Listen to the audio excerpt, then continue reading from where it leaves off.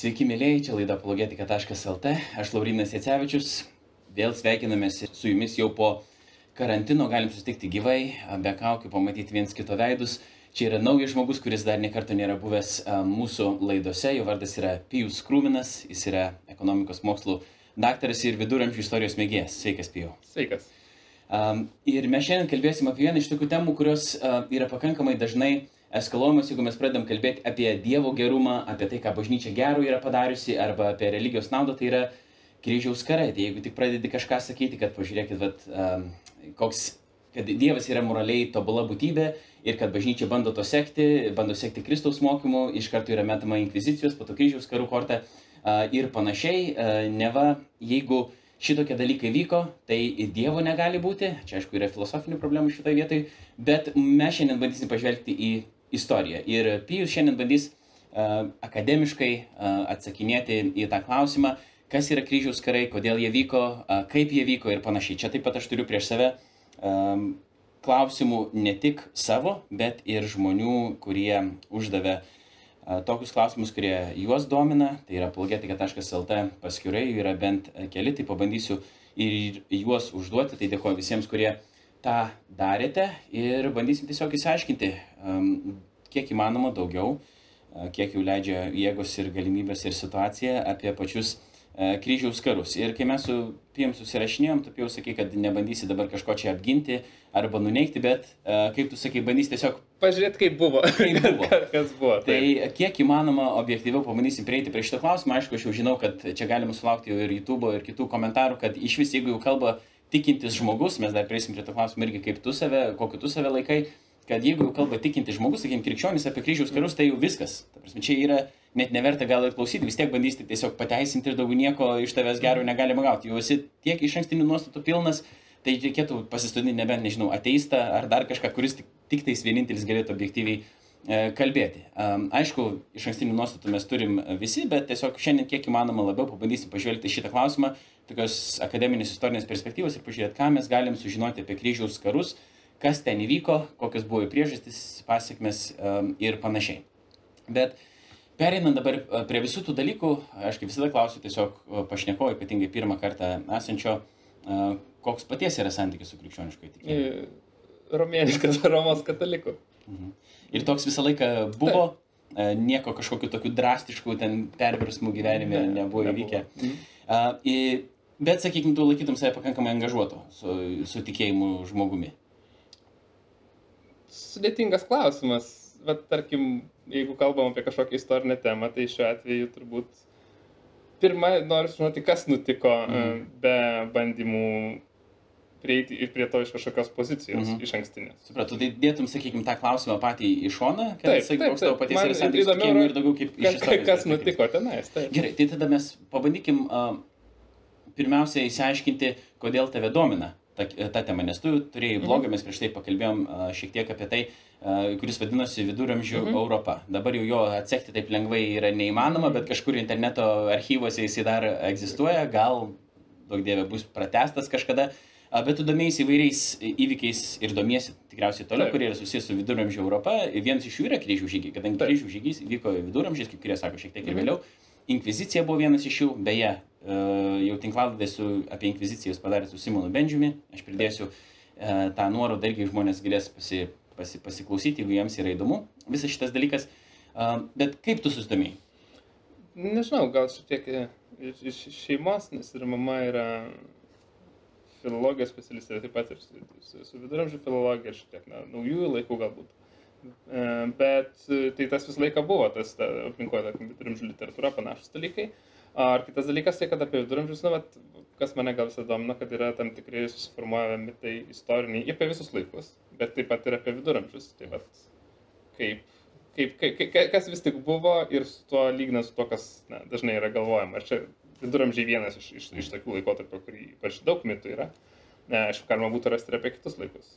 Tai tiesiog manau, kad tas jo toks, žinau, ir, ir, ir, ir, ir vienas pusės ir iš aplinkos, bet kita vertus ir iš tiesiog tas jo E, laikotarpis, kai labai daug kas keitėsi, e, kuris, apie kurį yra labai daug irgi iš ankstinių nuostatų, iš ankstinio požiūrio, ar ne, tamsus kaip viduramžiai ir panašiai, bet e, tai nebūtinai taip ir buvo. O tau pačiam, uh, nežinau, buvo kažkokių tokių, sakykime, mitų ar iš ankstinių nuostatų prieš prieinant prie visų šitų temų, ar ne gal mokyklai kažko mokėsi, gal kažkur girdėjai, gal, nežinau, internetas dar nebuvo, mhm. tai kai mes augom, aš įsivaizduoju, tiek plačiai paplitęs. Bet uh, vis tiek gal kažką buvai perskaitęs vienoje ar kitoje vietoje, kur kai pradėjai giliau domėtis tą temą, kad kažkas tiesiog pasikeitė, man tai, o visai ne taip buvo, kaip aš buvau girdėjęs. Na, bet turbūt pats paprasčiausias yra Marko Tveno knyga Jankis karaliaus Arturo dvare, kur amerikietis nusikelia į karaliaus Arturo laikus, tenais visokie dalykai vyksta ir vienas iš jų, man atrodo, kad toje knygoje buvo štai, kad vat, riteris, jeigu sunkiai šarvais, nukrisdavo naklus, negalėdavo atsistoti. Bet tai yra visiškai netiesa. Ir, bet tai to pačiu įstirtina ir dabar dar galima mhm. rasti tiesiog, nors nu, tai pakankamai kalba. Taip, taip, taip, taip, kad, vat, žodžiu, mm. uh, reikia užtemti, turėdavo kažkas už jį mm. pasodinti vėl ant arfą. O apie kryžiaus karus konkrečiai kalbant? O, tai, Ar kažkas ateina į galvą? O, apie dabar. kryžiaus karus, tai turbūt, ir čia galima turbūt būtų sakyti, kad iš visų pusių, ir už mhm. ir už puolančių mhm. pusių yra tam tikrų mitų. Vienas tai yra, kad kryžių žygiai buvo gynybinis dalykas, mhm. atsakas į islamo plėtrą. Mhm.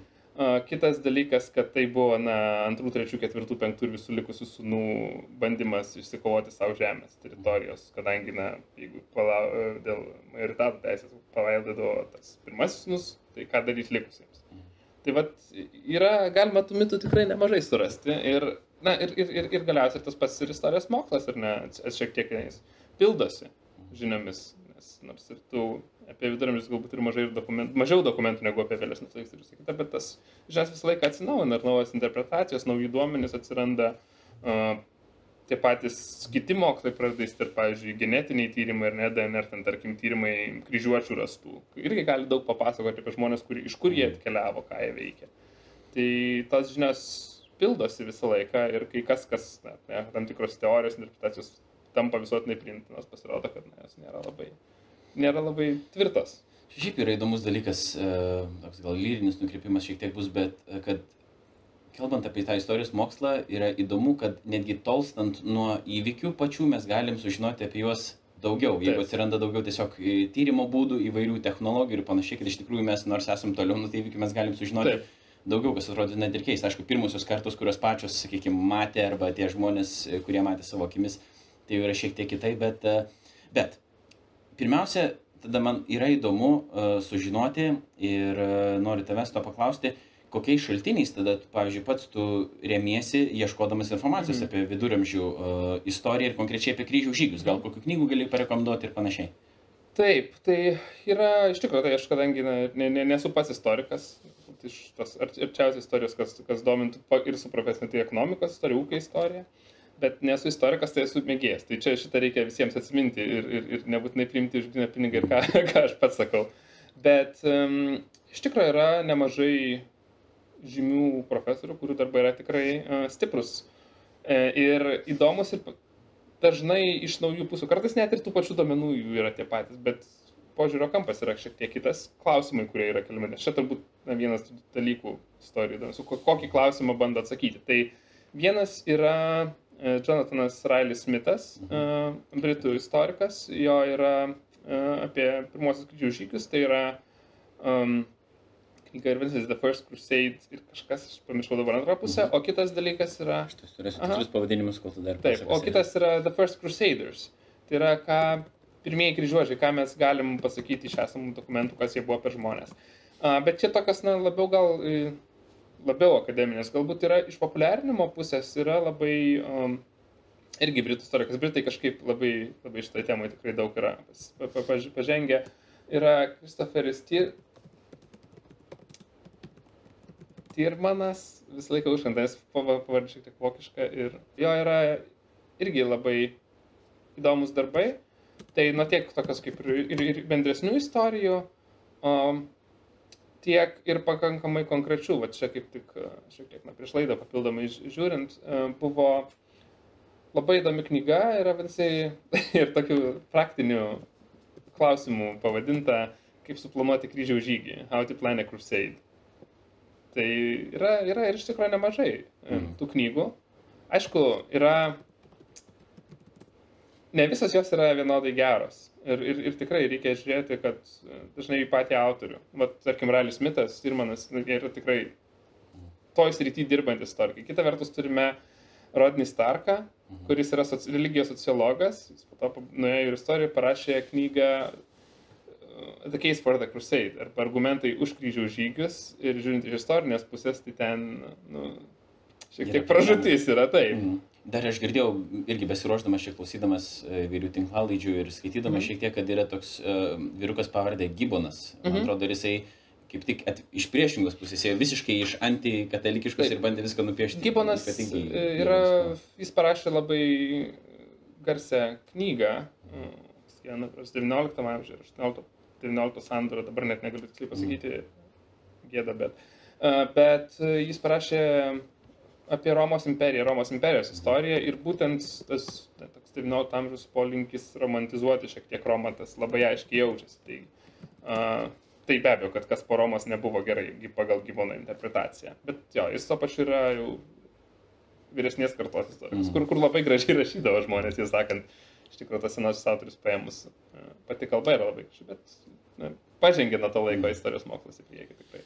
Na, bet kokiu atveju viso to, kaip sakyti, susisteminant visą šitą gabaliuką, mums reikia turėti omeny tikriausiai, kad uh, bet ką, ką mes skaitytumėm, mums reikia turėti omeny, kad uh, ten gali būti tam tikras irgi motyvas ir kur reikia perteikti tikrai ne vieną mhm. šaltinį, pažiūrėti, aišku, patikimumą uh, to šaltinio, ar galima rimtai tai žiūrėti ar ne, nes, pažiūrėjau, aš kiek skaičiau dabar irgi tiesiog įrašiau kryžių žygį mhm. e, per Google paiešką ir, ir man ką išmetė pirmosius e, variantus, ten ir Wikipedia ir toliau kiti, tai didžioji dauguma jų buvo labai negatyviai, sakykime, mhm. atsiliepdavo. Aišku, nu kryžių žygis į daugumą asociuoja su negatyviu dalyku. Mhm. Apskritai, kad tai yra tiesiog, mhm. nu, kažkoks žudimas siek, nu, mhm. krikščionybės vardu, vardant ten turto, pinigų, žemių, dar kažko ir panašiai. Bet e, kai klausiau, sakykime, kitos medžiagos šiandien, mhm. ne, nebūtinai irgi lietuviškos, vienokios mhm. kitokios ir protestantų istoriko, ir, ir katalikų istoriko ir panašiai, sako, ne, ne viskas yra taip, sakykime, ten mhm. paprasta, yra bandoma, sakykime, daugiau niuansų atskleisti ir, ir panašiai, bet vieną tu mitą, kaip užsiminėjai, kad šiaip jie paminė, kad uh, kryžių žygiai buvo kaip uh, gynybinis toks, arba vadinkim, mhm. atsakas į, į, į, į musulmonų um, užėmimą mhm. šventosios žemės ir krikščionių persiekimą. Uh, tam tikrą, tai mes dar tą, galėsim pagvildenti šitą temą, tu pasakysi ir tai, jeigu tai mitas, tai kodėl tai yra mhm. mitas ir panašiai. Bet tada esminis klausimas dabar mūsų jau po to literatūros uh, sąrašo aptarimo ir, ir, ir prieigos pačios, kas yra kryžių žygiai. Šis, mhm. kai, kai mes galėtum, apie kai mes sakom kryžių žygis, apie ką mes kalbam. Taip, tai turbūt labai e, ne vienas dalykas, tai yra iš tikrųjų šiek tiek kaip ir inkvizicijos laidoje su Simonu buvo, na tai nėra kažkoks labai aiškiai ką, ką labai paprasta yra apibriežti. Nes kai kalbam apie kryžių žygius, tai galim dalykus kelis išskirti. Vienas dalykas yra tradicinis kryžių žygiai į artimuosius rytus ar ne, Jaunimą Levantą, užimti Jeruzalę, kur įsisteigtų, įsikurtų krikščionis karalystės, ar ne? Tai čia tie aštuoni standartiškai išskiriami tie kryžių žygiai, ar ne, į, į tą etapus. Kitas dalykas yra šiauriniai kryžiaus žygiai arba kryžiaus žygiai į Baltijos kraštus, tai yra prieš Prūsus, prieš Švendus pirmiausia ir, ir prieš Lietuvą, natūraliai, šita atkirtis. Mm. Tada yra kryžiaus žygiai siejami, galima sėti su rekonkista Ispanijoje, atkovojimu, ar ne, kovos su islamu Ispanijoje. Taip pat kryžiaus žygiai krikščioniškus Europos vakarų viduje, kryžiaus žygis prieš Katarus Prancūzijoje. Mm. Tai yra daug tų tokių visokių skirtingų mm. šiek tiek tipų, bet na, tai vis tiek vienaip ar kitaip tai yra tam tikras su, su, su religija siejamas. Ar tai yra vienintelis faktorius, nebūtinai, ir priklauso labai ir nuo to, galėsim pakalbėti, kur, kur, kur tas kažkokios mm. konkrečios kovos vyksta. Um, taip, bet tai vis tik tais yra su, su, su kitų tikimu. Ar, pavyzdžiui, e, Prancūzijos Kataro atveju, ar net tai su erezija, ar su islamu Ispanijoje, ar Jeruzalėje dėl kitų, dėl, dėl, dėl, dėl skirtingų priežasčių, ar su pagonimis Baltijos kraštuose. Mm. Tai šiaip jeigu yra toks, sakykime, pakankamai platus irgi mhm. tas dalykas, kryžių žygiai buvo skirtingų, skirtingais laikotarpiais ir prieš skirtingus žmonės dėl skirtingų priežasčių, ar grupės, nebūtinai mhm. žmonės. Um, tai klausimas yra tada, koks yra bendras tas denominatorius, kad mes jų galime vadinti kryžių žygių, kodėl visi šitie dalykai, kuriuos išvardinai, yra vadinami kryžių žygiais. Vis tiek, tai turbūt, ką būtų galima sakyti, kad tai yra vis tiek, tai yra katalikiškos Europos ar ne, kariniai veiksmai prieš kitus kitą atikius, ar naudojant religiją ir kaip argumentą, vieną iš argumentų, ar ne. ar tos pačius, na, vat, kaip, ar, ar tiesiog tai, kas buvo laikoma erezijomis, kaip Kataro atveju Prancūzijoje. Tai pradėkim tada, aišku, nuo, nuo, nuo pačių pradžių, tas e, pirmasis kryžių žygis, kada jisai buvo. Ir jisai, kiek aš suprantu, nu, uždavė toną jau visiems Taip. kitiems e, likusiems, Mhm. nes iš pradžių gal net nebuvo labai aišku, kas čia toks Taip. dabar vyksta, bet jeigu gali tada šiek tiek papasakot, kaip atrodė tas pats pirmasis kryžių žygis, Mhm. kas jį sušaukė, kokios buvo jo priežastis, Mhm. e, pasiekmes. Taip, tai e, 1095 metais popiežius Urbanas II Prancūzijoje Klermone pasako pamokslą, kuriuo kviečia ar ne, gauti išganimą, keliaujant. Ir, ir pačiam pamokslė, na, jo tekstas nėra išlikęs, tai taip šiek tiek spekuliuojam iš kitų Mhm. šaltinių, ką gali jos sakyti. Kviečiant, žodžiu, atkoti Jeruzalę. Jis pats beras Jeruzalės, na, jis tiesiogiai galbūt pirmą kartą ir neminėjo, nes šiek tiek vėliau atsiranda. Bet iš esmės tai yra kova, taip, arti- artimuosiuose rytuose uh, už krikščionių tikėjimą, už, už, užimti tam tikras žemės tenais. Uh, tai 95 metais pasakomas pamokslas ir tada šiek, šiek tiek kaip, um, jeigu turi idėją verslui, kartais reikia, vadinamai, pitchą daryti. Mhm. Eini ir visiems investuotojams pristatinėjai savo idėją, kad gautum finansavimą. Tai po to šiek tiek vyksta panašus dalykai. 95-96 metais būtent yra pamokslaujama, sakom, pamokslai kviečiant, žodžiu, prisijungti. Um, žmonės, kariai, kareivius keliauti tenais ir uh, kovoti dėl, čia, tai, tarkim, ar ne, dėl Jeruzalės už, užėmimo ar atsiemimo iš musulmonų. Tai, uh, tai vyksta ir susiorganizuoja du, taip vadinami, tai yra tas uh, žmonių liaudės kryžiaus žygis, kuris tai šiek tiek patraukėsi, toks šiek tiek gal mažiau organizuotas ir gerai organizuotas uh, kryžiaus žygis, kuriame jau yra dalyvauti yra riteriai, diduomenė, kurie patraukė į Jeruzalę. Ir uh, su be abejo šiek tiek sėkmės, bet taip pat ir dėl pasiruošimo pavyksta. Užimama Jeruzalė ir pirmasis kryžių žygis leidžia įkurti krikščioniškas valstybės artimuosiuose rytuose, kurios įsikuria ir iš esmės išsilaiko galutinai iki 13 amžiaus paskutinės, galima sakyti, jau tiek tos žlunga 1291 metais. Ir nu, jau ta- nuo tada ne, ne, nebelieka krikščioniškų karalysčių artimuosiuose rytuose. Bet tai, žodžiu, iš esmės beveik 200 metų, vienaip ten vienu metu daugiau, kitų metų mažiau, tai yra tam tikros uh, krikščioniškos uh, politiniai vienetai, kurie tenais na, yra savarankiškai, nu kaip savarankiškai, kiek, kiek gali būti vis tiek priklausomas nuo vakarų Europos. Tenais jie veikia ir valdo, bet taip, tai maždaug trunka 200 metų tas jau pats buvimas krikščioniškų karalysčių vakaruose. Vėliau dar šiek tiek galima ten sakyti, ar ten organizavosi, nesusiorganizavo, bet na, jau nebėra jokių didesnių karinių veiksmų, kurie leistų perimti žemės ar užimti žemės. Dabar aš skaičiu, pavyzdžiui, Wikipediją, kadangi tai buvo pirmas šaltinis, buvo, man būtų įdomu, kad ten tas žmogus, kuris parašė tą straipsniuką, nes Mhm. aišku, nežinosiu tiksliai, kas ten jį Mhm. parašė, uh, jisai minėjo, kad uh, tikslai buvo kryžių žygių anot jo tokie paprasti. Uh, prisiplėšti pinigų, Mhm. uh, žemių ir kažkas tokio, bet viskas buvo daugiau susijęs su, su turtais ir, ir žemėmis. Mhm. Ar tokie ir buvo, sakykime, ar taip ir buvo pardavinėjimas, tas, vadinkim taip, kryžiaus žygis e, popiežiaus, ar tai buvo kažkas, kažkas kito, nes aš po to pateiksiu Mhm. kitą dar sakykim, informaciją, Mhm. kurią, kurią man irgi ten pavyko surinkti, galėsiu padėti kažkaip ją įvertinti. Mhm. Ar tų priežasčių buvo kažkokių ir kilnesnių, negu vien Mhm. tik tais tokie dalykai? E, tai iš tikrųjų, jo, čia tas argumentas ekonominis e, kryžiaus žygių į artimus rytus atveju, jisai dažnai yra pateikiamas, bet yra su to šiek tiek problemų, nes iš tikrųjų čia ypač vat, e, tas pats Railis Smithas e, nemažai tyrė, tai kaip finansuoti visą šitą reikalą. Įsivaizduokim, jeigu tam iš tam organizuotam, pirmam organizuotoj, pirmojo geriau e, kryžių žygio dalyje, pirmojo, yra 60 tūkstančių, nėra aišku, tiksliai žinau, maždaug 60 tūkstančių karių žmonių dalyvauja, galbūt šiek tiek daugiau, jeigu įskaičiuosim žmonės, kurie ne- nedalyvauja tiesioginiuose karo veiksmuose. Tai tiek žmonių nugabenti, tai yra kaštai dideli. Viską suorganizuoti ir dar galiausiai užimti Jeruzalę. Tai tikrai yra brangu. Ir iš tikrųjų tie didikai, kurie keliaudavo, jie dažnai ir jų šeimos net, tai išeidavo į minusą ūkiškai tariant. Tai yra ne, ne, nebuvo. Nėra, nėra tie. kraštai, taip, Mhm. ekonomiškai tai nebuvo labai pajusta, nes na, tai nėra tie kraštai, kurie duotų didelės ekonominės vertės. plus, kad reikia daug išleisti pačiam. Ir taip, be abejo, kainuoja. Tai Nes yra ir- ir ginkluotė, skolą tai yra svita. Taip, taip, taip. Ir ten galėjo. Ir, ir nepaisant to, tos pačios šeimos siūsdavo vis naujas savo kartas į kryžiaus žygius, nors tai kainuodavo. Taip, tai iš tikrųjų tai net prisidėjo ir prie, a, šiek tiek prie finansinių inovacijų kūrimas Europoje, nes tam, kad tu galėtum nusipirkti, tavo turtas turi būti visų pirma e, likvidus, tu jį turi kažkaip duoti, ar užstatai žemės, kad gautum pinigų, už kuriuos galėtum nusipirkti, ar dar kažkaip, ar imi paskolas. Tai uh, kryžiaus žygiuose dalyvavimas buvo visai toks brangus dalykas, nepigus.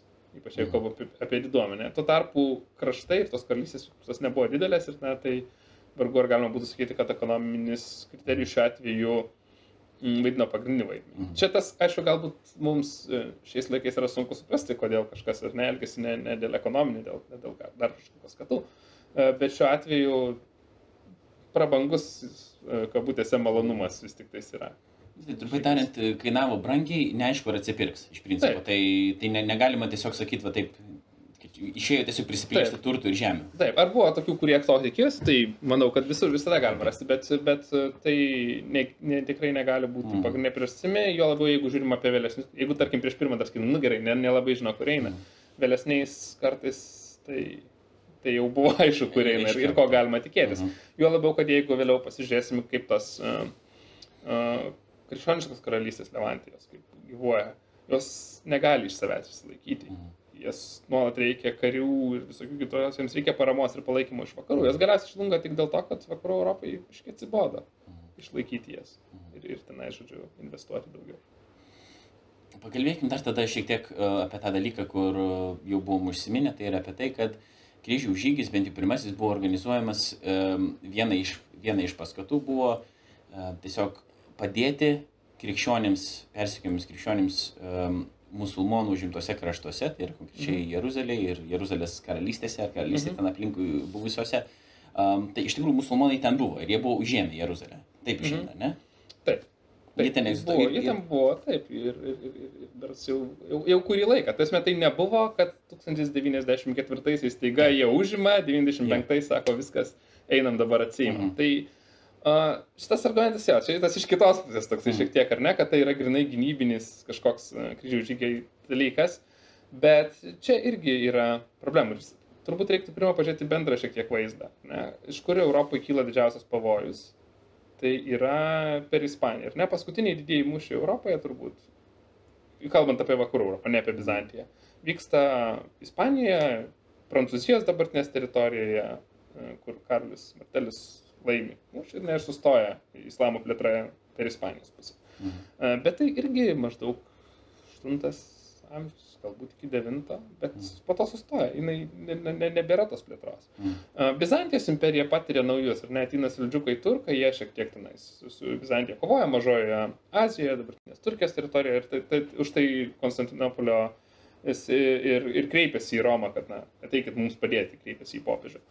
A, Ar buvo pavojus piligrimams? Taip, buvo, bet jis būdavo, tai, tai nebuvo pirmi metai, kai kažkas atsitiktų. Tai Mhm. visą laiką, nes, ten, ar, tarkime, kovoja Seldžiukai su Fatimidu iš Egipto ar ne dinastija, vyksta kažkokios kovos, tai atsiliepia ir, ir visiems, kas yra aplinkui. ne. Tai kodėl taip staiga tai turėtų tapti 95 metais kažkuo labai išskirtiniu dalyku?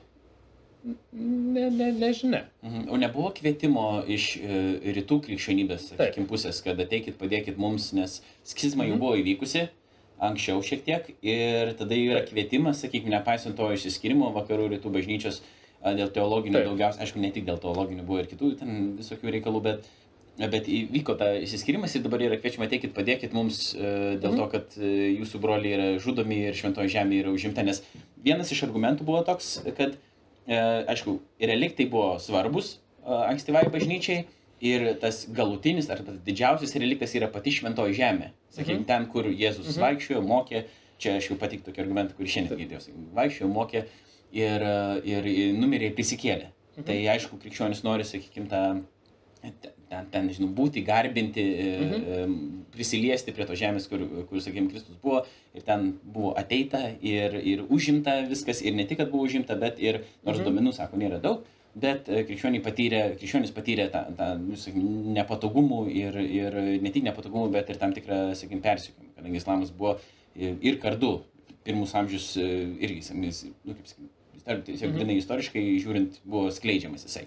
Tai kaip tas kvietimas tada įvyko? Tai pakvietė taip, Konstantinopolis kviečia, kad va, vakarų krikščionys galėtų padėti gintis, bet e, ta Konstantinopolis turi ir tokių ūkiškų priežasčių. Mhm. Kaip minėjau, atsiranda saldžiukai turkai, atkeliauja į Europą ir kaunasi su Bizantija, ypač Mažosios Azijos teritorijoje. Tai Bizantijai čia veikiausiai labiau rūpėjo Mažoji Azija negu šventoji žemė mhm. ir kaip tiesiog išlaikyti savo įtaką tenais.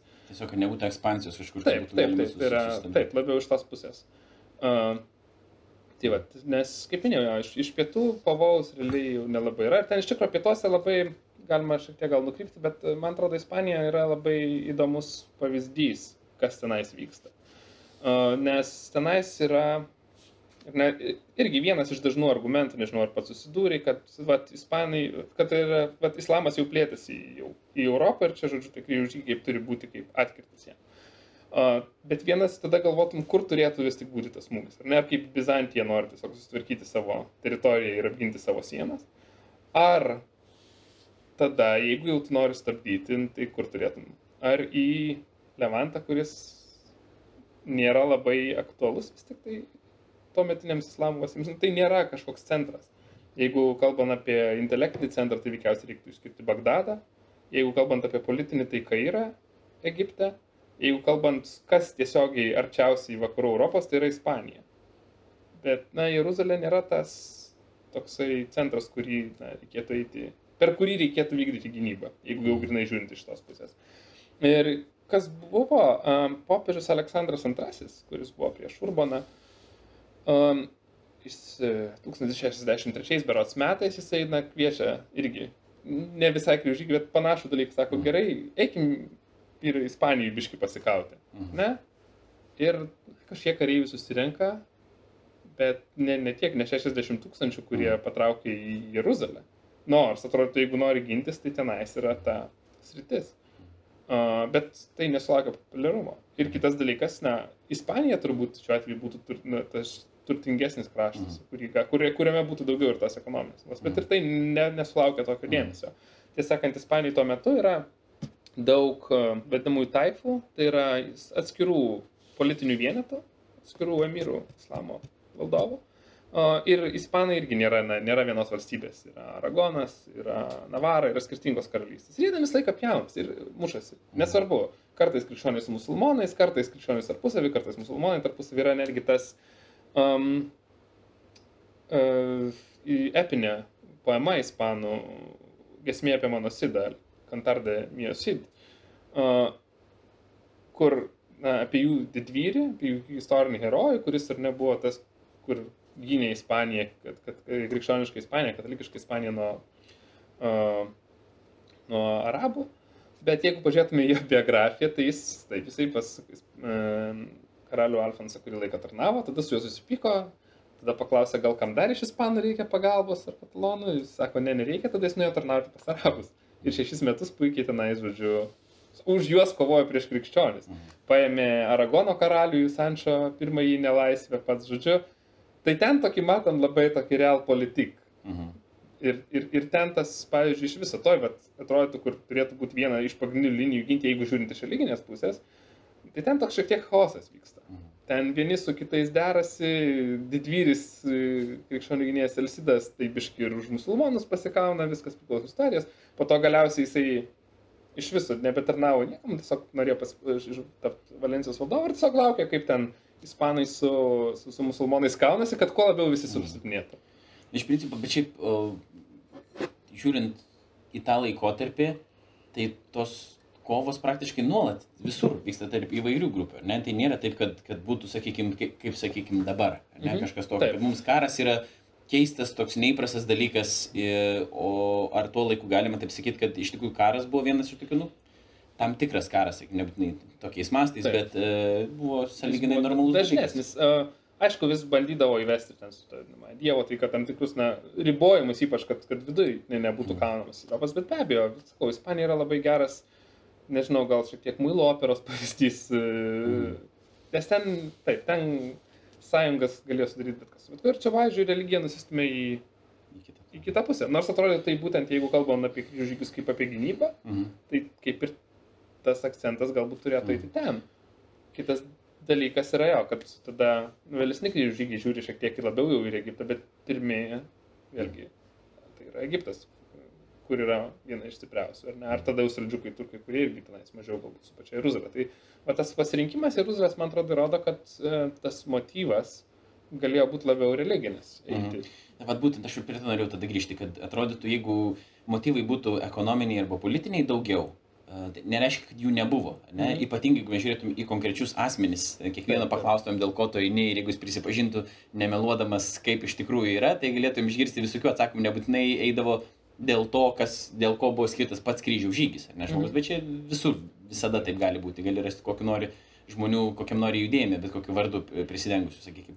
Uh, Bet uh, tada, jeigu dėl politinių ar ekonominių priežasčių buvo galima tada eiti arba į Ispaniją, arba į Egiptą, arba dar, arba, sakykime, į, į, į, į kitas teritorijas vi- vidurinių rytų, artimųjų vidurinių rytų.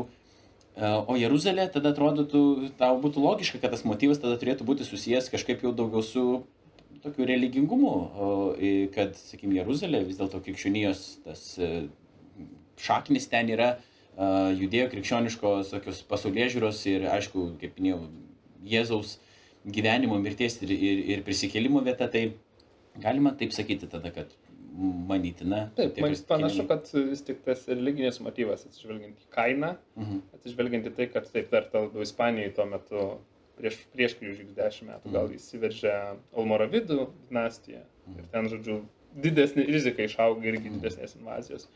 Tai yra tas uh, uh, panašu religinis motyvas vis tik tais, kad na, uh, šiandien gal tai yra sunkiau įsivaizduoti, kaip, kaip, kaip, kaip, kaip tai galėtų būti.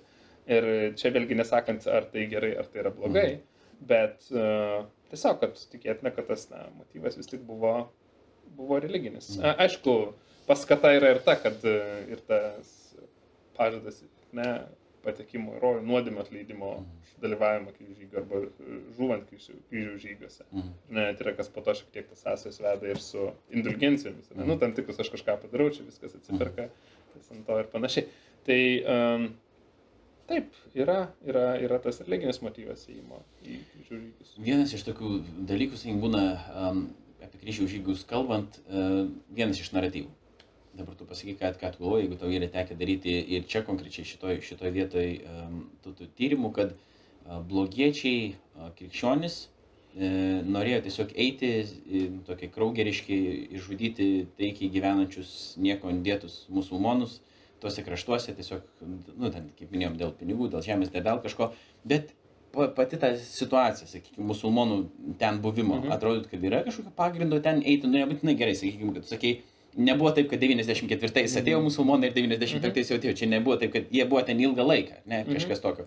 Bet ar būtų galima sakyti, kad e, kaip tos pusės tiesiog dalyvauja? Taip, ar yra, kad e, vieni nieko nedaro, pavyzdžiui, musulmonai ten tiesiog būna savo ramiai ir tada Mhm. krikščionis ateina ir nusprendžia, kad mes čia davai pakaposim e, galvas truputį ir, ats- ir paimsim žemę, nors, Mhm. mhm. aišku, atsimsim, ar, ar yra šiek tiek kitaip šitoje vietoje? Mm, čia sudėtingas iš tikrųjų klausimas, kodėl būtent tada ir, ir, ir, kas galiausiai paskatina, galiausiai tas sėkmė pritraukiant dalyvius, kryžių žygių, ar ne, tai 60 tūkstančių karių maždaug, tai nėra mažai, tuo metu Europą gyvena ten gerokai mažiau žmonių negu dabar. Uh, tai sunkus yra klausimas ir, ir, ir turbūt uh, sunku būtų atsakyti, nes uh, ko mes turim nedaug, tai mes net ne, ne- negalim pasišnekėti ten su 11 amžiaus kokiu prancūzų ar vokiečiu, kuris eina į kryžių žygį ir ne kas mums galėtų pateikti, tai mat, kodėl. kodėl Jo, bet aš patikslinsiu tą Mhm. klausimą tada, kaip grinai, ar yra kažkokių dokumentų istorinių, arba pačiam gal yra tekę susipažinti, kokia buvo situacija tuo metu tiesiog Jeruzalėje uh, krikščionių Mhm. tuo metu. Arba bent jau kokius mes duomenys, ar mes turim kokį nors duomenų, jeigu turim, tai kokių. Yra, na, situacija nekeičiasi, kartais ne šiek tiek labiau, kartais šiek tiek ta politika griežtesnė, krikščionių atveju, kartais mažiau griežta, nėra tokio, kad būtų ar ne. tam tikras. Ar tai buvo nuolatinis kažkoks žiaurus spaudimas, veikiausiai ne. Ar tai buvo, buvo tam tikrų įvykių konkrečių ar ne, kažkokių piligrimų užpuolimų, kažko, veikiausiai taip. Tiksliau taip, buvo, bet negalima sakyti, kad buvo visą laiką, tarkim. Ar visą laiką buvo viskas nuostabu ir gerai, irgi ne. Mhm. Bet čia turbūt, ypač kalbant ne, apie, apie viduramžius, apie, apie senius laikus, ne, tas pats visur labai plačiai galioja. Ir, ir iš tiesų nemažai tų ir, ir, ir piligrimų keliaudavo. Ir čia turbūt tas vienas dar dalykas, tas toks kelių dalykų dėrėjimas. Iš vienos pusės ar ne, tas uh, pasišventimas, tikėjimas, kuomet tu gali eiti kaip piligrimas į Jeruzalę, bet to pačiu tas aplinkos žmogus, kuomet tai tau nebūtinai sutrukdys tenais ir grįžus dar ką nors mhm. nugalabyti ir po to vėl eiti už atgalą į Jeruzalę. Tai toks, toks na, gal šiek tiek uh, daug kontrastų. Tai nėra kažkas labai, um, labai na, vienareikšmiškas. Man teko irgi dar uh, girdėti, uh, klausyti, skaityti, kad uh, ką bandė padaryti popiežius Urbanas, pirmiausia, tai yra, kad e, nukreipti ir kiti, sakykime, tie vadinami pasauliečiai, netgi pamokslininkai mhm. ir panašiai, kurių irgi taip pat buvo, nes atrodo, kad buvo neįtin tikėtina, kad tiek žmonių susirinks, kaip tu mhm. minėjai, gal buvo, nes gal ir buvo prieš tai kažkokių bandymų ir tiek, tiek paklausos, tiek noro nebuvo, bet po to atrodo tas toksai kvietimas prisijungti prie šito viso reikalo, jisai tapo netikėtai pakankamai populiarus ir, ir per tą vadinkim, pasaulietinių pamokslininkų ar kvietėjų, e, kvietėjų efektą irgi. Bet ką popiežius pats bandė padaryti ir pasakytų savo vertinimą šitos situacijos, kaip tau atrodo, kad nukreipti tų uh, riterių, mhm.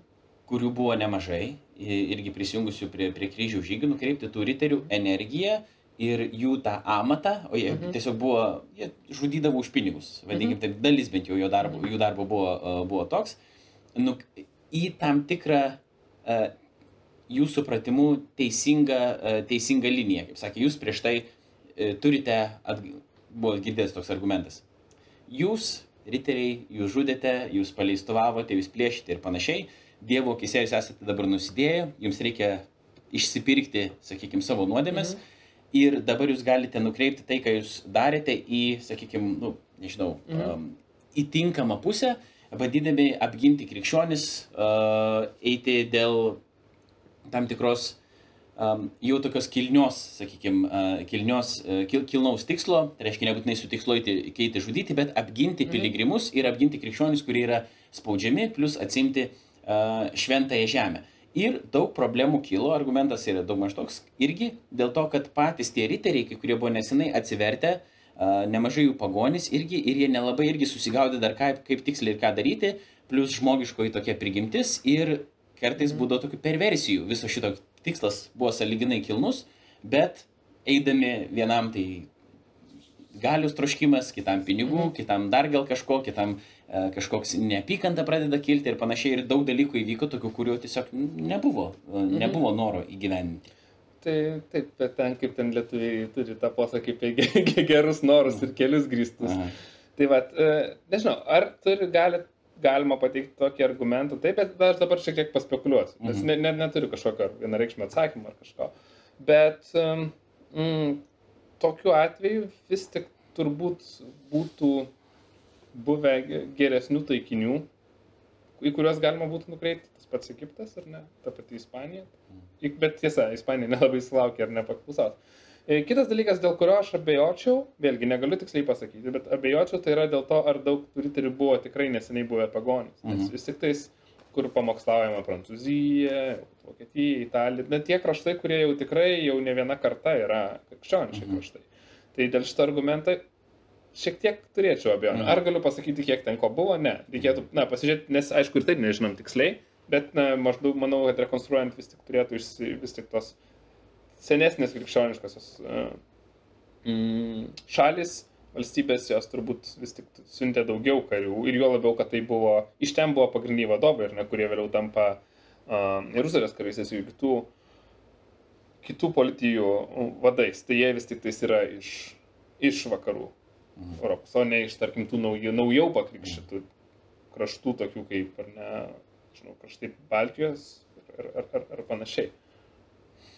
Mes šį porą klausimų jau mhm. netgi atsakėm dabar bekalbėdami, nes žmonės klausė, pavyzdžiui, ar kryžių žygiai turėjo taip pat ir politinį motyvą, gytis klausė tokį klausimą, tai atsakymas kaip ir buvo kaip ir galėjo turėti, bet daugiau jeigu ėjo į Jeruzalę, tai buvo didesnis Dėl politinio veikiausiai būtų buvęs e, Kit- šiek kitos tiek kita kryptis. Ar vėl, Mm. vėliau, e, Tai einame Nes mes kryžiaus kol kas kalbėjome apie pirmą tik tai. Taip, Kas, tai. 13 amžiuje jau tenai šiek tiek einama į, o, ir, ir į Egiptą, bet vėlgi tuo pačiu tikslu tiesiog, na, jeigu nugalėsime Egiptą, bus paprasčiau nueiti tenais, Mhm. į Jeruzalę. Bet e, taip, politinis tas e, faktorius labiau veikia kariaujant Ispanijoje, labiau veikia kariaujant e, galbūt Baltijos kraštuose. Mhm.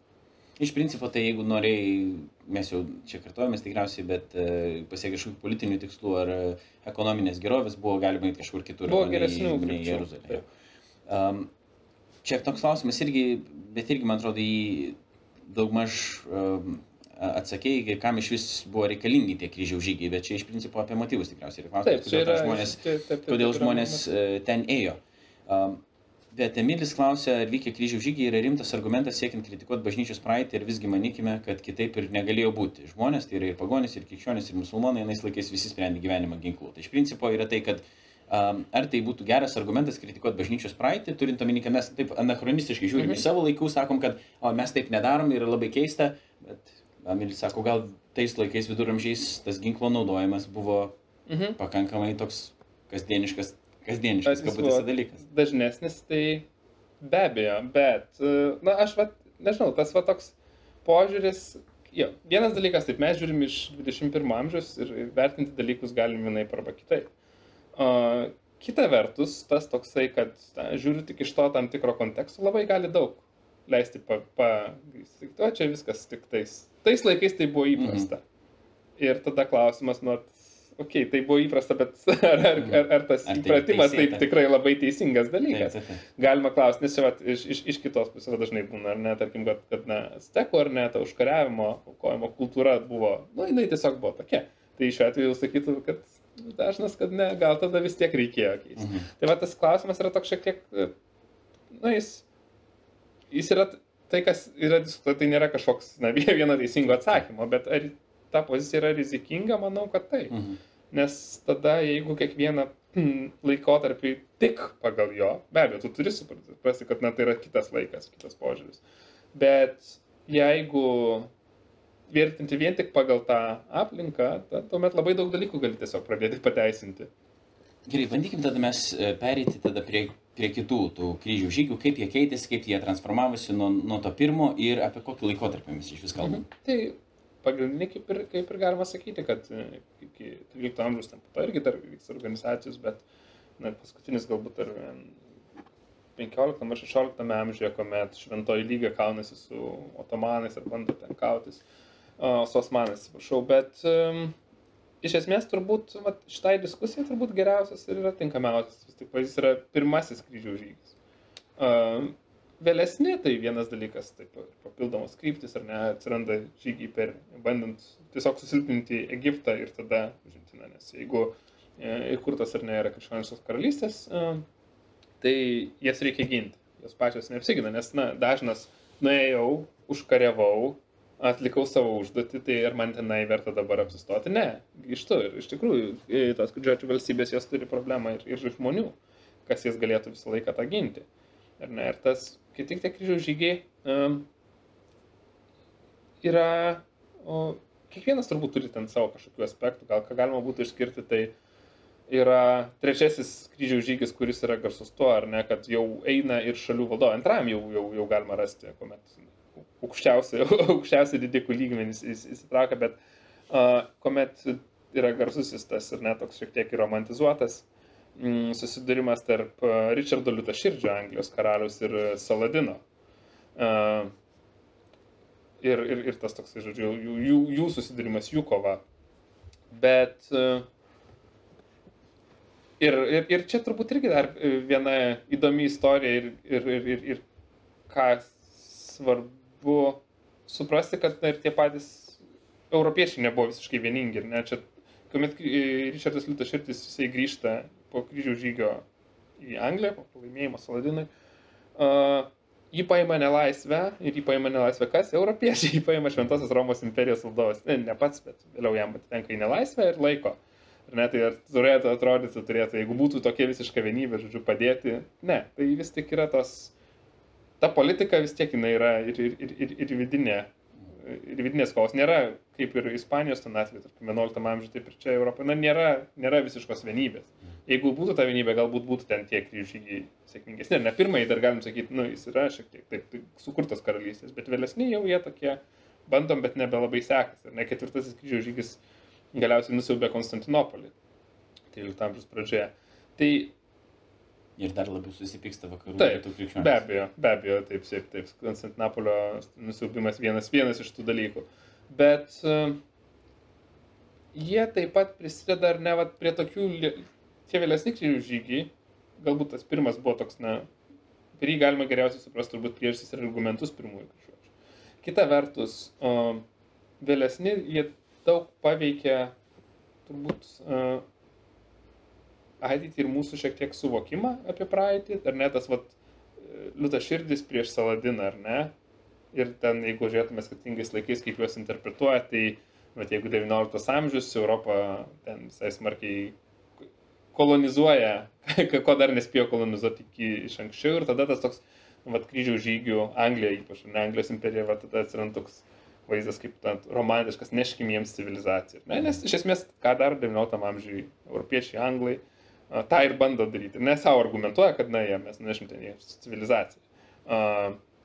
Ar tai galima interpretuoti kaip civilizacijos nešimą, tačiau atskira diskusija, nes, e, bet tuo pačiu tie kraštai ir ne, tarkime, tas pats arti- artimieji rytai Šiaurės Afrika, kurie susiduria tiesiog su kolonizatorius, jie pradeda interpretuoti irgi kryžių žygius kaip na, tam tikrą kolonizacijos pirmtaką, ar ne, kažkokį pirminį pavyzdį. Uh, ir tada vieniems, va, liūtas širdis tampa tokiu kaip simboliu kovos nešimo, tos kultū, kultūros, vakarietiškos kultūros, kitiems Saladinas tampa kaip to pasipriešinimo simboliu. Mm. Nors na, ir vienas ir kitas savo laiku veikia pagal esamą situaciją ir ten su- sunkiau traktuoti.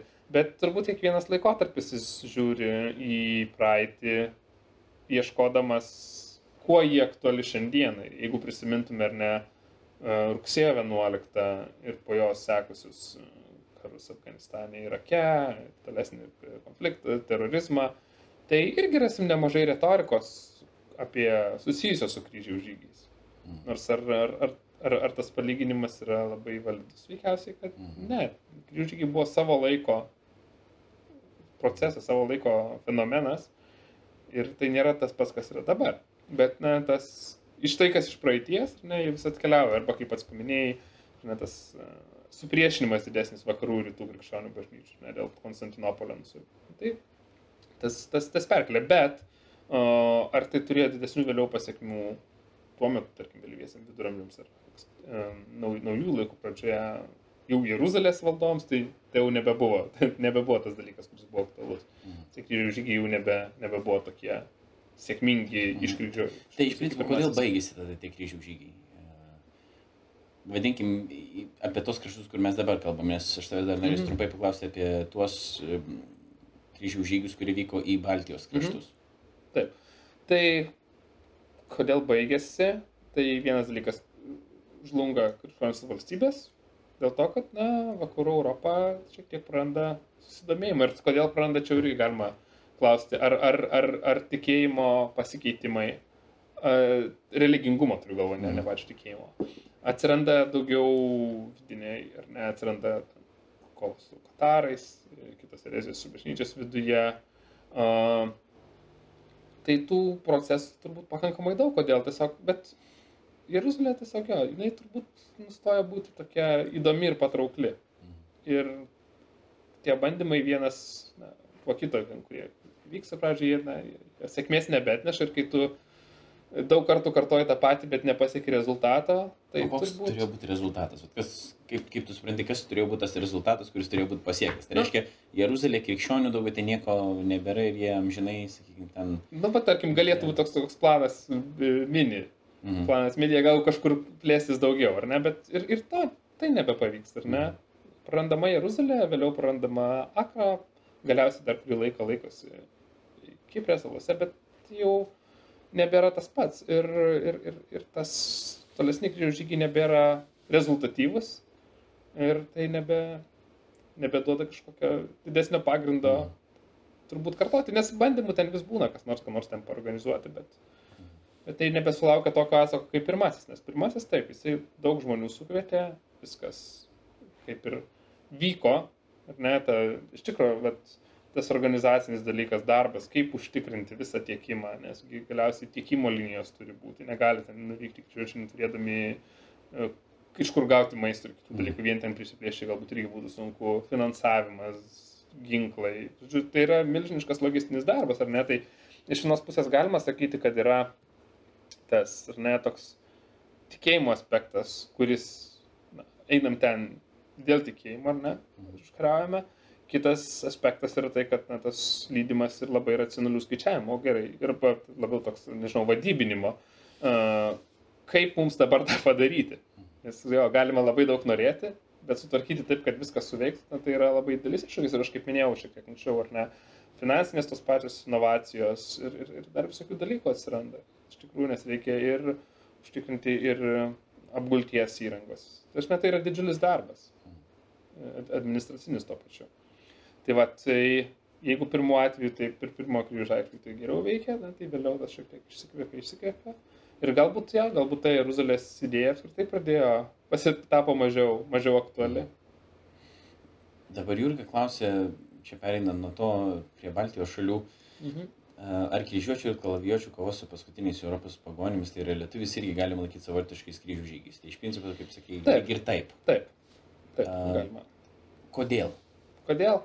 Čia jau šiek tiek yra Kiti, čia, čia nėra Jeruzalės. Taip. Jo, čia nėra. Šiaurės Jeruzalė Vilnius vadinamas. Ne, čia nėra musulmonų, kurie, aišku, čia yra, sakykim, pagoniški kraštai, kur irgi ne viskas yra Taip. super puiku, kaip mhm. kad būtų žmonės, nu, gal galvotų, ne, kad, o, čia viskas buvo gerai, kai kurie, mhm. nes, pavyzdžiui, aš netgi pats, uh, atsimenu save paauglystį, didžiuodavausi, kad vat, mes paskutiniai Europos e, pagonis, mhm. aš tada pats teoriškai save laikiau krikščioniu, bet nebuvau, mhm. bet kad va čia ir tada atėjo kažkas, ten kažką atnešė, mhm. priešingą tikėjimą, ten žudė ir, ir dar kitą, nors pirmas misionierius, žinomas mums Lietuvos vardo minėjimo, mes minim dėl to, kaip turim tą minėjimą dėl to, kad gavo per galvą, tiksliau, galva gal nulėkė, taip reikėtų sakyti Tai kad čia ne viskas irgi buvo, sakykime, puiku, te, mhm. pagonių kraštuose ir daug kovų tarpusavyje ir kovos su, su, su kitais ir panašiai, bet, uh, bet turim tą tokią keistą tokią situaciją, vis tiek vadinam, tu sakai, galima vadinti kryžių žygiais, mhm. bet atrodo, tų sąsojų tokių nėra taip ir super daug, tai kodėl jos, jie vis tiek kryžių žygiai? Taip, be abejo, vienas dalykas tai yra bandymas atversti, bet to pačiu čia jau atsiranda ir tos labiau politinės. Uh, ekonominės priežastys mhm. labiau veikia, nes vis tik tai jau yra turting, na, tai yra daugiau žemų, kurias mhm. galima išsikovoti, įsisteigti. Uh, tai galima būtų žiūrėti labiau jau šiuo atveju per tą uh, politinę ekonominę prizmę. Aš mhm. vėlgi šiek tiek galbūt apie, apie lietuviškus kryžių žygius arba baltijos kryžių žygius labiau esu mažiau skaitęs, tai čia irgi daugiau spekulacijos galbūt, bet uh, taip, čia jau, čia jau ne, negalima sakyti, kad tas, na, tas religinis tikslas jau yra mažesnis. Mm. Nes jeigu matėm, kad į Ispaniją tai mažiau suveikė kvietimas, kur nebuvo Jeruzalės, nors kur buvo labai aiškios kovos. Mm su islamu, tai um, Baltijos kraštuose tas taip pat ne, nėra ir rusas, tai mm. kodėl tenai galiausiai eiti. Nes be abejo, tai atsiranda ir um, vėliau ir uh, vokiečių pirklių interesai, ne, kuriuos reikia užtikrinti. Uh, Ryga, Talinas, visą kitą. Tai tas interesų jau čia daugiau galima išvelgti. Mm. Kitas dalykas, aišku, kad na, Lietuva jinai atsiranda tokiai pozicijoje tarp uh, vakarų krikščionybės ir tarp rytų krikščionybės tokia, žodžiu, mm. tarpinė. Toks e, plati siena, galima sakyti, kuri, kuri skirianti. Ir čia atveju tad Lietuvai tokia irgi tada gauna laviravimas, kur, kur, kur pasukti labiau mm. vieną ar kitą pusę. O kas tie kryžiuočiai tada taip, paprastas žmogus paklaustų, nes tie, kurie buvo pirmajam, e, pirmajam kryžių žygiai dalyvauti, jų kryžiuočiais nepavadinsi, tuo labiau, kad uh, žmonės, nu, nežinau, gal galima tos riterius vadinti kažkaip, kažkaip taip pri, prilipinėm tokią etiketę, bet, kaip minėjau, yra buvo tų paprastų žmonių, kurie ėjo mhm. irgi tą kryžių žygį, kurie buvo net nebūtinai ginkluoti, bet tiesiog ėjo tą piligrimystę. Ir tada ėjo, irgi kaip buvo minėta, bent jau šiandien vienoje laidoje, kur aš klausiau, kad uh, kryžių žygį galima būtų laikyti ginkluotą piligrimystę. Tai sakymėjo ir paprasti žmonės, nebūtinai ginkluoti, o ten jau ėjo tie kaip sakyt, piligrimai dar irgi tam tikrų religinių tikslų jau ginkluoti ir apginti ir, ir atsikovoti žemės, bet jie vis tiek tai matė kaip, kaip, kaip piligriminį tam tikrą, tam tikrą žygį. Tai, bet jie nebūtinai buvo kryžiuočiai. Tai kas tada tie, sakykime, mes vadinam kryžiuočiai, kas jie tokie buvo? Jie buvo kariai vienuoliai, kaip kad tai, ar kas jie, kas jie tokie buvo? Čia turbūt uh, terminą galima įvairiai naudoti. Galima apibūdinti, visus kryžių žygių dalyvius kaip kryžiuočius. Mhm. Uh, galima būtų kalbėti ir, na, tai, ką mes, tarkim, dar nelinkučiuosius, tai yra Teutono ordinas, ar ne? Mhm.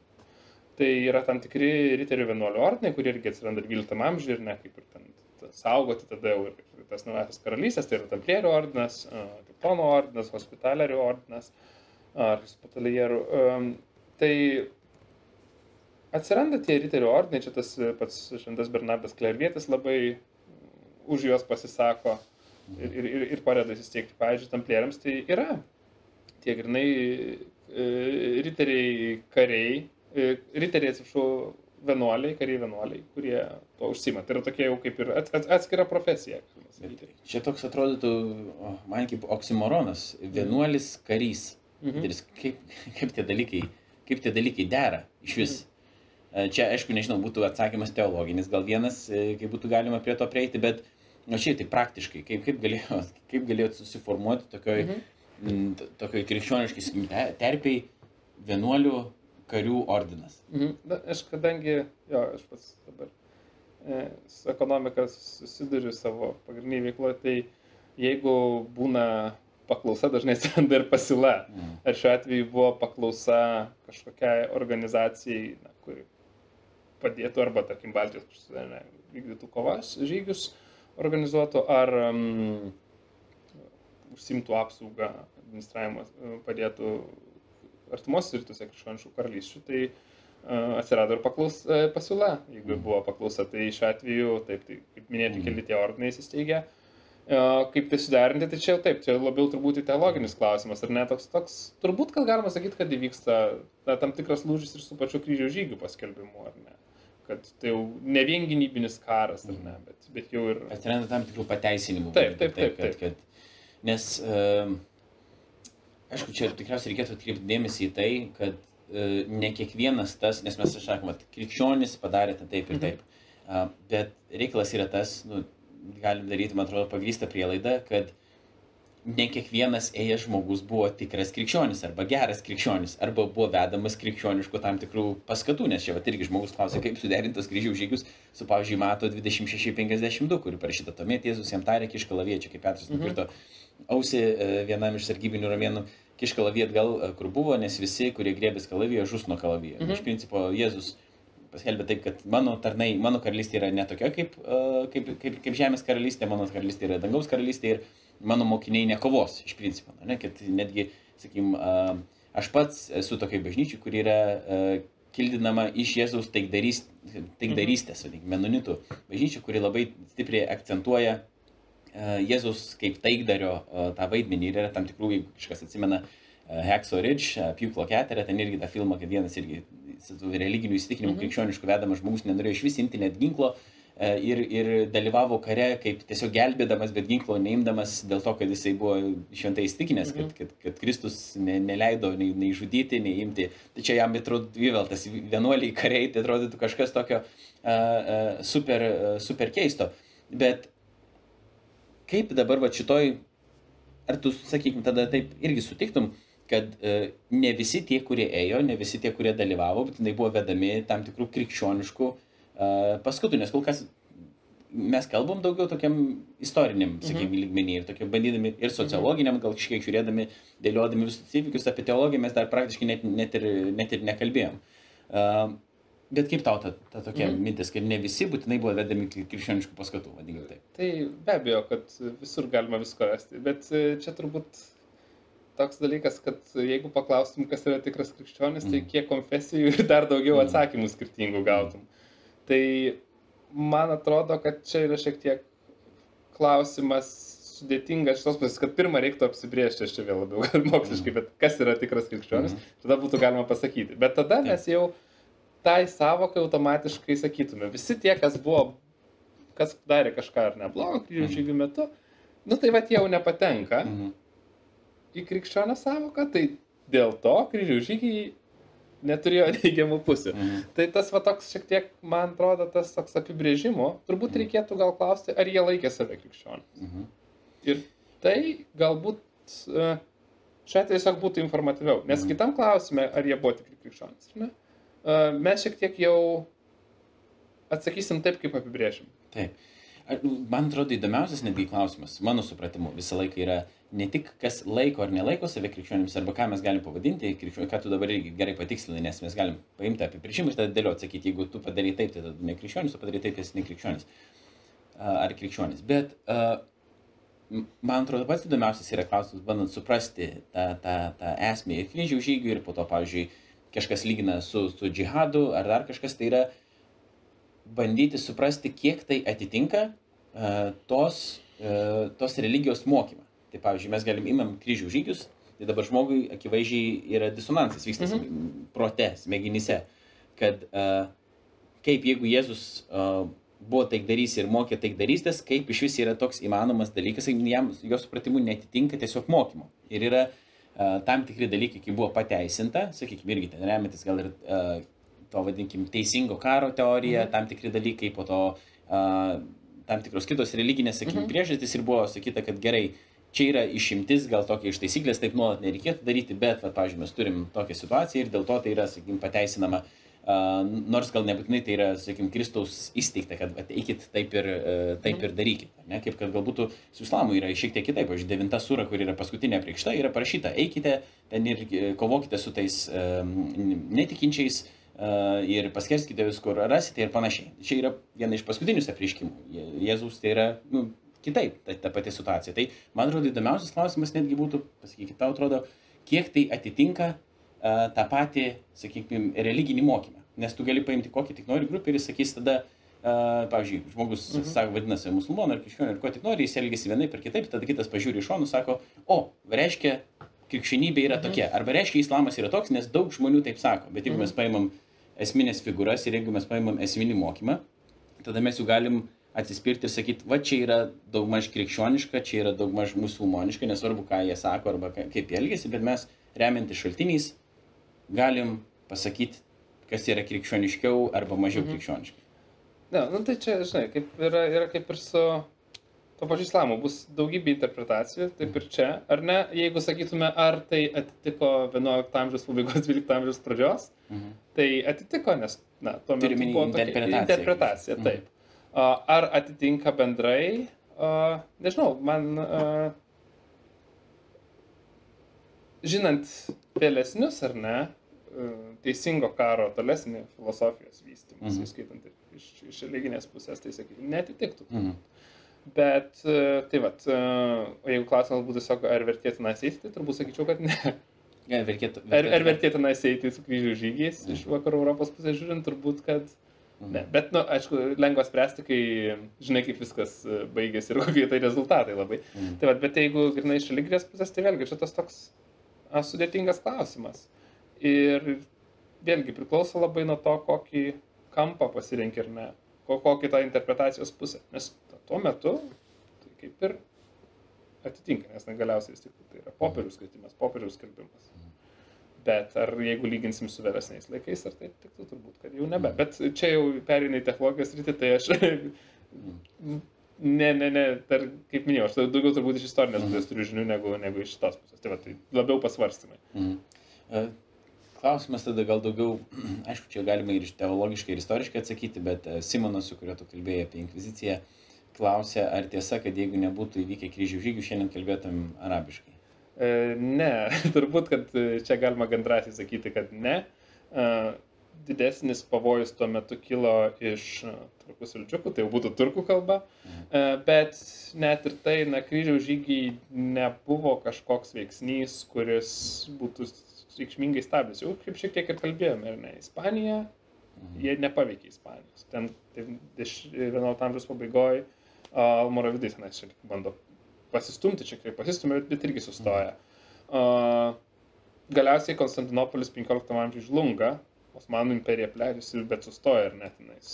Ir, ir, ir Janas Sabieskis prisideda, žodžiu, stabdydamas. Bet uh, ta ekspansija, kryžiaus žygiai, man, man atrodo, kad jie na, neturėjo didesnės įtakos stabdant. Nes tuo metu jau tas islamo pirminė plėtra buvo sustojusi, na ir net ateina turkai, sudžiukai, kurie daugiau kažkaip bando, nu, naujas kovas su Bizantija. Bet iki, iki tikrosios jų galios, kurie išiškė 15 amžiuje dar, dar toli. Tai na, aš manyčiau, kad iš šitos kalbos išsaugojimo pusės e, vyriausiai kalbos komisija gal apsidžiaugs, bet ne, turėtų, turėjo mažiau įtakos. Turiu galvoje, kad e, ne, ne, vargu ar islamas būtų atėjęs į Europą, jeigu ne kryžių žygiai. Mhm. Jie turbūt buvo tiesiog tam tikrų kitų jėgų, kurios, kurios stabdė. Nes ar tiesiog tu sakytum, kad e, tiesiog islamas neturėjo intereso ateiti? Nes atrodo, kad interesas buvo. E, buvo tam tikrų kitų. Turbūt jėgų. reikėtų, nes ne, ne taip, gal klausimas ne ar islamas, ne, mhm. o žmonės. Ne, vis mhm. tiek interesus turi žmonės galiausiai ir ne kurie kažkokie politiniai lyderiai. Mhm. Uh, ir visi turėjo savo interesų, kas ir, ir be abejo kokia yra dar galia. Ar gali pakankamai žengti, na, prieš mhm. Bizantiją turkai dar negali. Bizantijai darosi sunku, jie praranda, norėtų įsikovoti, bet to žemės vis yra mažoje Azijoje dar. Tai dar iki Konstantinopolio žlugimo dar yra laiko. Uh, beje, 350 metų. Uh, Ispanijoje ten visi su visais kaunasi, kaip kalbėjome. Ir uh, turbūt, kad gal dar ir nebuvo na, to, tokių asmenybių, kaip vėliau atsirandantis tas Mehmetas ir panašiai, kurie bandytų tą stumti. Nes šiuo atveju turim daug skirtingų valstybių, daug skirtingų dinastijų. Umaidai, šiek tiek anksčiau Almoravidai, Fatimidai, Turkai, Sildžiukai, labai daug vien. Tai nėra, nė, nė, nėra vien, vientiso. Mhm. Ir ne, jo labiau, kad jeigu dar gal vakaruose galim šnekėti ar ne, kad, na, va, vieningesnis yra. Tas yra daug valstybių, bet na vis tiek, va, Urbanas antrasis pakviečia ten daug kas susirenka. Ar Bizantijos imperija. Tai islamo pasaulis, jis, na, jis gal tuo metu netgi šiek tiek yra spalvingesnis. Mhm. Ir, ir, ir be abejo, tai sąlygų ir tai, kad na ir kovas yra ir tarpusavį, kaip ir Europoje, liūta širdį paima į nelaisvę ne kas kitas europiečiai. Mhm. Tai va, tai ne, manau, kad Simono klausimą būtų galima sakyti, kad lietuvių kalba dar kalbėtų ir be kryžių žygių. Nebent visi kryžiuočiai būtų nuėję į Lietuvą vietoj Jeruzalės. Tai tu sakai, kad Simono klausimas yra blogas klausimas. Ne, nesakau. gerai, aš juokauju, aišku, čia. Simonas, jeigu pažiūrėsi, čia gal jisai galės, kaip sakyti, įvertinti juoką ir, ir neįsižeis. Dabar čia toks, nežinau, vat, kiek jau bus uh, tavo laukė šitas klausimas, bet kadangi yra parašytas, tai aš paklausiu ir, ir galėsiu pats pateikti kažkokį tam tikrą pamastymą. Gal daugiau teologinį, jeigu, jeigu, jeigu bus noras, bet uh, Dovydas klausė, kokie kryžių žygiai skiriasi, ar buvo panašus į Senajame testamente minimus uh, karus prieš kitatikius, jis taip konkrečiai rašo, nors uh, šiaip buvo komplikuočiau negu tai. Mhm. Ar tai būtų kažkas, apie ką tu bandytum atsakinėti, ar, ar tai būtų vienas iš tų o dalykų, kur... Galima pavyzdį iš Jo, prieš kananiečius, pavyzdžiui, buvo mhm. Jozuje irgi vienas iš pranašų, kuris Taip. sako, kad va, Dievo dabar eikite mhm. ir jums reikia užimti tą kanano kraštą, mhm. dievas, jį, dievas jį pažadėjo ir, ir kad yra nurodymai ir žudyti irgi ir, ir panašiai. Ir ar tai yra tada pan, panašu ar nepanašu į, į tai, kas yra kryžių žygiai. Ta, tai aš iškart galiu pasakyti, kad per, per mažai žinau, kad mm. galėčiau palyginti pagristai. Uh, juo labiau kaip tas, kas aprašytas Sename testamente ir nevyko istoriškai. Tai vis tiek nėra, nėra kažkokia dokumentas ar istorinis. Mm. Kaip, kaip, kaip tas vyko. Uh, tai visada turbūt galima rasti panašumų, bet turbūt visada galima rasti ir skirtumų nuo tas pats, nuo tikslų ir priežasčių, kodėl kažką reikėtų daryti ar ne. Tai nu, tokie palyginimai, nežinau, reikėtų turbūt išskirti labai aiškus kriterijus, kokiu klausimu jie yra panašus, kokiu aspektu mm. jie gali būti panašus, galėtų skirtis, bet kadangi taip, čia per, per mažai žinau apie, apie būtent tos senuosius, nes Seno testamento. Mm aprašytus karus, kad galėčiau kažką aiškiau pasakyti. Ir galima rasti panašumų be abejo, bet turbūt skirtumų irgi pavyktų rasti. Būtų galima, aš manau, kaip panašumas tai būtų tai, kad nebuvo jėgo, naudojame tam tikrą jėgą dėl tam tikrų religinių motyvų. E, tie religiniai motyvai tik buvo kitokie. E, nebuvo, sakykime, ten kažkokios e, nebuvo persekiojimų, tada krikščionių nebuvo, aišku, Senojo Seno testamento mhm. laikų, tai, tai buvo tiesiog Dievo tauta, kuriem, kurių sandora buvo surišta labai konkrečiai su tam, tikru, su, su tam tikra žeme, skirtingai negu naujoji sandora Jėzui Kristui, kuri nėra surišta su tam tikru su žemės gabalu. Ne, tai pažadėtų į tą žemę, jau mūsų ta, dangaus karalystė, vadinkim taip, čia supaprastinti aš labai, labai aišku kalbu.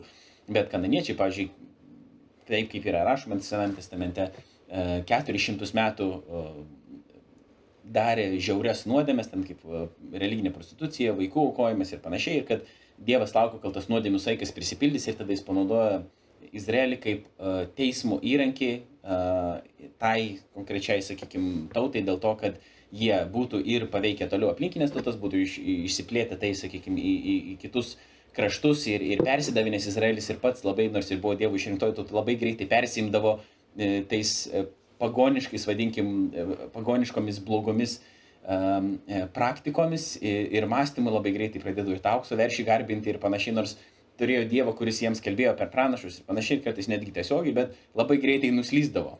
Ir, ir Dievas labai pats irgi griežtai teisdavo Izraelį įvairiais būdais irgi uh, ir bandydavo per tokius šokiruojančius momentus atstatyti į, į tinkamą santyki uh, su savimi. Tai nebuvo kažkoks, vat, tai visų pirmiausia, tai panašumas, tai kad gal buvo tam tikrų religinių motyvų, bet tie religiniai motyvai labai skiriasi.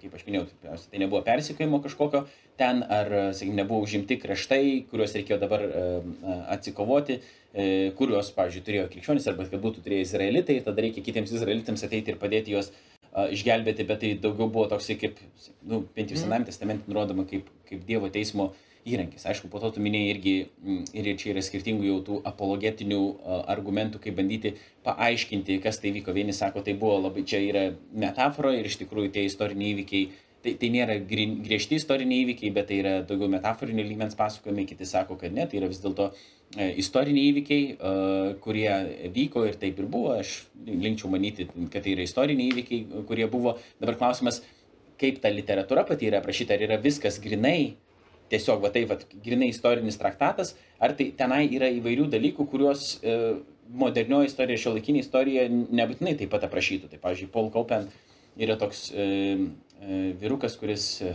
mokslo, dak, vyrukas, mokslo daktaras, kuris yra e, parašęs knygą, jis gada Moral Monster ir, e, did, ir kažkas apie tai, ar Jėzus, ar, ar Dievas įsakė e, kananiečių genocidą ir panašiai. Ir jis aiškina apie tai, kad tas tas pats, tai buvo istoriniai įvykiai, bet aprašymas pats jis yra labai stipriai hiperbolizuotas. Pavyzdžiui, kaip krepšinis sako, vat, taip, mes nužudėm tenais, mes ar mhm. ten iš, išdraskėm ir panašiai, tai tie vat, tokie žodžiai, kad vat, buvo išžudyti, ten visi buvo nušluoti nuo žemės, pavyzdžiui, tai kaip sako, krepšinio komanda nušlavė kitus, tai nei mhm. nušlavė nei ką. Tai reiškia, tai yra hiperbolizuoti pasakojimai ir, ir, ir panašiai, kurie nėra vat, visiškai taip pat pažodžiui į, įmami su lygiais tais skaičiais ir, ir, ir taip toliau. Tai Dovydui atsakymas yra toks, kad e, yra panašumų, bet atrodo, mano supratimu, bent jau iš pačios motivacijos yra skirtumų daugiau. Ir esminis gal yra skirtumas tai, kad ten buvo, sakykime, jau Dievas kalbėjo per pranašą, taip mes suprantame, o čia tokio tiesioginio Dievo veikimo nebuvo. Tai buvo, sakykime, aišku, čia jau interpretacinis klausimas, kaip popiežius veikia, aišku, jis nekalbėjo, tada bent jau kiek aš suprantu, neklystamai įsakydamas kryžių žygius. Jisai tiesiog veikdamas kaip bažnyčios žemiškoji galva, jisai kvietė į, į tą, ką jis geriausiai suprato. Sakė, gal ir klystų, nu, bet varom. ne, nu, nežinau, jis tikriausiai taip nesakė, bet aš kiek suprantu, sakykime, um, būdamas evangelikų tą e, katalikišką mm, doktriną, tiksliau dabar jau dogmai įtvirtintą popiežiaus neklystamumu, kai jis ekskatedra kalba tik labai konkrečiais tam tikrais momentais, kurių istorijoje buvo labai nedaug. 95 tik sako pamokslą. Mhm. bažnyčios susirinkimo metu. Tai, Taip, tiesiog tai nėra kažkokia įtvirtina, kad taip reikia dabar visiems daryti, jis tiesiog sakykime, kviečia ar ne ir, ir, ir popiežių yra buvę tikrai ir prastų labai, ir kad katalikai pats pripažins tikrai, kad ir nereiškia. Kelis turėjom. Kaip? Ir po kelis buvo. Nu, taip, taip, tai, tai ta pavyzdys, tai aišku, yra atskiras klausimas, bet uh, tai nereiškia, kad, uh, sakykime, kad kiekvienas bažnyčioje dalyvaujantis arba netgi bažnyčios vadovas galvo, kad jisai yra būtinai visada tinkamai elgiantis. Pavyzdžiui, nes žiūrim Senąjį testamentą, karalius Dovydas, jisai buvo dėl jo uh, paleistuviškų norų, buvo nužudytas moters vyras ir jis pasėmė ją dėl to, kad pamatė nuogą ant stogo uh, besimaudančią. Tai, bet, ne, bet Dievas sako, kad čia yra vyras pagal mano širdį, bet žinom, kad ne dėl to jis yra vyras pagal Dievo širdį. Ir po to Dovydas psalmėse išpažįsta savo nuodėmę, Dievas sako, aš tau nusidėjau per tokius tokius dalykus, tai Dievas naudoja tos tikrai sugedusius ir prastus žmonės ir ne vienas iš mūsų nesam um, nesam tobulos, aišku, tai nėra pasiteisinimas dabar sakyti, kad vat, mes nesam tobuli, dėl to viskas yra tvarkoje čia ir, ir viskas yra gerai. Nu, bet gal šiek tiek aš čia išsiplėčiau, bet norėjau šiek tiek gal tokie tą, tą, tą pusę uh, iškelti į paviršių, bent jau, uh, bent jau pamastymui. Tai tikriausiai pačiai jau dabar, uh, dabar pabaigai, uh, tu šiek tiek užsiminiai uh, gal apie tai, bet man norėtųsi gal, kad išgrynintum mm, tuos dalykus, jeigu tau, jeigu tau pavyks, jeigu aš nėra kažkaip taip per staigiai tave ne, nepastatau čia dabar tokiai ant degančios kėdės, yra tai, kad e, ar tu galėtum išskirti ir, ir, ir tada patvirtinti, ar, sakykim, paneigti tokias populiariasias nuomonės apie kryžiaus karus. Kai kurie jau buvo, gal, bet čia Mhm. daugiau taip susistemina. ar Ne? Tam tikri mitai, kurie Mhm. egzistuoja apie kryžiaus kuriuos tiesiog nuolat girdi ir galvoji, nu ne, ne taip yra. Mhm. Mhm. Mano tyrimai atskleidžia kažkokius Mhm. tokius dalykus ir ki kitus dalykus. Arba ir tuos kelis dalykus, kurie gal mes žinom, yra toksai kaip bendras žinojimas ir sakykim, jo, daugmaž taip ir buvo. Mhm. Na, gal nesakyčiau, tik mano tyrimai. Tiesiog, kiek domėjus tenka. Bet uh, turbūt vienas dalykas, ar uh, tai buvo kryžių žygiai į Jeruzalę buvo labiausiai skatinami ekonominių priežasčių? Panašu, kad ne. Tai kainavo per daug ir per mažai naudos tą ekonominės. Ar tai buvo dėl to, kad Europa tai bandė gintis nuo islamo, irgi panašu, kad ne, nes tam būtų tikusios visai kitos kryptis Mhm. puolimo, kurios būtų daugiau nuveikę šitų klausimų. Um, ar tada tas klausimas, ar, ar tas religinis faktorius turėjo didelį veiksmą? Taip. Tai panašu, kad turėjo, kaip minėjau, ar ne. Ir ankstesni bandymai suorganizuoti kažką Europos viduje ne, nebuvo tokie sėkmingi, kaip Urbano kvietimas į, į Jeruzalę. Ar kas čia dar galėtų būti iš tokių... Turbūt vis tik, aš manau, kad daugiausiai mitų yra susijęs su tom priežastim. Kas, Mhm. kas vyko yra ganėtinai žinoma. Na, užpuolėm ten, su, nužudė, nenužudė, uh, užėmė ir taip toliau. Bet va, tos pačios priežastys. Tai turbūt yra tas toks dalykas, dėl kurio yra labai, taip, ir iš tų, kurie labai sako, nes yra tokių, kurie, kad la- labai gerai kryžių žygiai buvo, ir kurie sako labai blogai, ir iš visų tai argumentai tokie susipina ir gaunasi neaišku kas. Mhm. Bet e, iš tikrųjų, vat, kiek pasižiūrėjus į tą literatūrą, naujesni tyrimai, ką, ką rodo, tai panašu, kad taip. Ar tai jau yra gerai ar blogai, tai jau čia jau yra etinis labiau klausimas ir, ir, ir rezultatų, bet jeigu žiūrint iš istorinės pusės. Tai čia kalbant apie tos e, žygius į Jeruzalę. Bet e, jeigu kalbam apie kitur kovas, tai ten jau be abejo atsiranda politiniai, socialiniai klausimai, galiausiai Lietuva apsikrikštyje, prasideda Lietuvos krikštas 14 amžiaus pabaigoje, popiežius jau patvirtina, kad Liet- Lietuvos didžioji kunigaikštystė yra krikščioniška valstybė. 1390-ieji, pati 14 amžiaus pabaiga, į Lietuvą vis dar atvyksta, pavyzdžiui, būsimasis Anglijos karalius Henrikas IV, čia Vilniuje, žodžiu, pasiautėti, biškai pasimušti su lietuviais ir panašiai, nes nu, nesibaigė dar žalgerio mūžis jau kiek laiko praėjus. Tai tos e, kitose teritorijose ar ne, tos priežastys jau gali būti šiek tiek kitos. Tai jau Mhm. gali būti ir ekonominiai, prekybiniai interesai, teritorija.